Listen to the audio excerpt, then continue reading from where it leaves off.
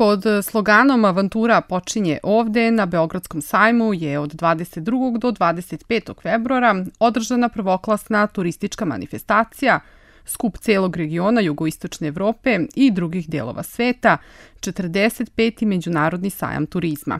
Tradicionalno na sajmu su učestvovale najznačajnije turističke agencije, udruženja i organizacije, hoteli, turistički centri, transportne kompanije i međunarodni turoperateri. Sumirajući rezultate kada je 2023. godina u pitanju, zaključuje se da je to rekordna godina za srpski turizam po svim parametrima, koji uključuju i broj dolazaka, broj noćenja, ali i po deviznom prilivu od turizma, istakla je Marija Labović, direktorka turističke organizacije Srbije. 2023. godina je rekordna godina za srpski turizam po svim parametrima i po broju dolazaka e, turista, po broju noćenja i po deviznom prilivu od turizma.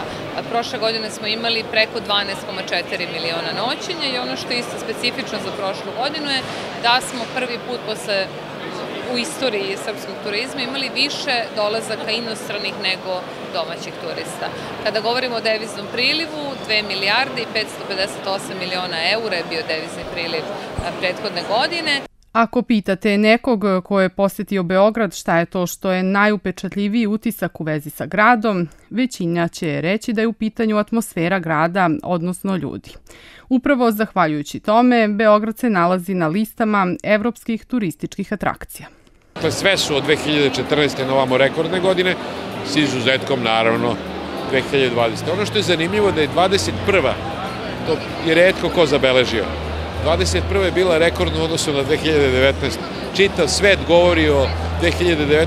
kao najbolje godini pre korona i kasnije, ali su Beograd i Istanbul jedine dve destinacije u Evropi koje su već 21. se potpuno oporavile od korona.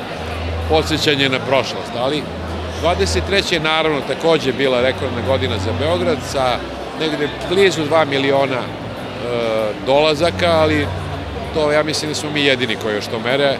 Uvijek se govori o broju noćenja, Beograd ima 3,5 miliona noćenja zvanično. Negde oko 20 do 25% vam ode u sivu zonu, ali taj novac se takođe potroši u Beogradu.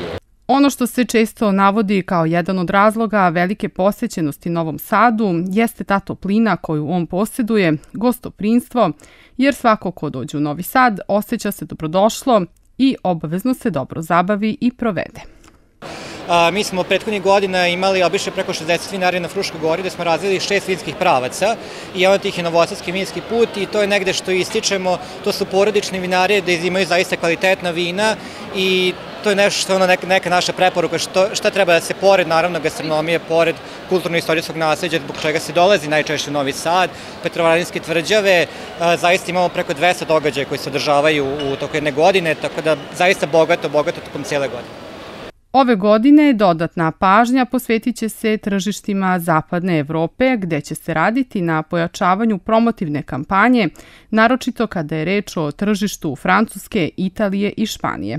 Zahvaljujući našem nacionalnom avioprevozniku, naša zemlja ima direktnu povezanost sa preko 80 destinacija u svetu, a to i jeste jedan od prvih preduslova za otvaranje nekog novog tržišta.